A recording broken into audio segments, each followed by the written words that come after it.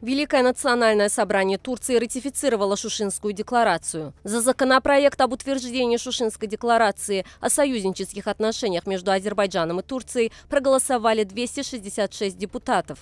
Напомним, что 1 февраля на пленарном заседании Милли Меджлиса Азербайджана был вынесен на обсуждение проект закона об утверждении Шушинской декларации о союзнических отношениях между Азербайджанской республикой и Турецкой республикой. После обсуждения законопроект был вынесен на голосование и принят в первом чтении. Таким образом, Милли Меджлис утвердил Шушинскую декларацию о союзнических отношениях между Азербайджанской республикой и Турецкой республикой, подписанную 15 июня 2021 года в городе Шуша.